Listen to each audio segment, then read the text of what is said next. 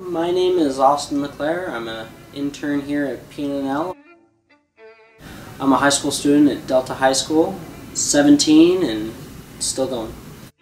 But, uh, starting out at Delta is different than going to any other high school, probably anywhere, because when you start a new high school, we well when we started one, we didn't have any upperclassmen, so we didn't really have anyone to that set the bar. So we didn't we just kind of kept going and going, and it was really easy to get to know everyone everyone you knew there was like your family. During National History Day, during like sophomore and junior year, um, created a project based around the Grand Coulee Dam and the history behind it and how it had it was a significant impact on the Tri-Cities.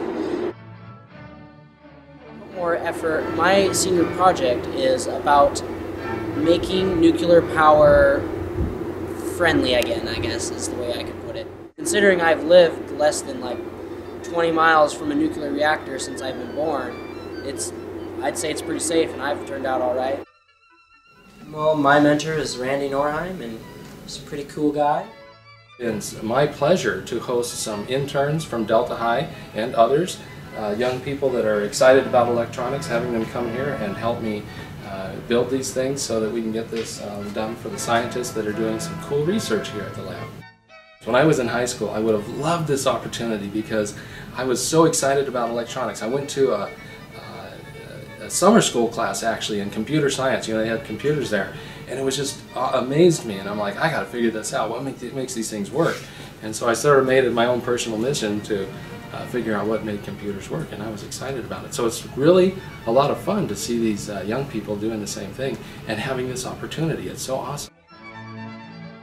On creating a PCB board, and I put the components on it, and basically it will go into a box which we call the gold box, and it will help run the process system for an ion mass spectrometer, which measures molecules, proteins, and I guess the difference between Delta and other schools is it makes you think harder, it doesn't let you slack off. I want to be a nuclear engineer because around here in the Tri-Cities, we're known for nuclear power because of Hanford and all the people that work there. I plan on going to college right after high school. I plan on going somewhere in the eastern coast area. I'd call, I'd call myself a very determined person. I've been taught from very young age that I need to uh, take, take my life in my own hands. I plan to be the first in my family to get a bachelor's degree. I plan to strive ahead and break out of the cycle. They say that you can't break out of the cycle of your family. If your family's poor, they're going to usually end up poor, and I'm not a firm believer in that. I believe that if I put my will to it, I can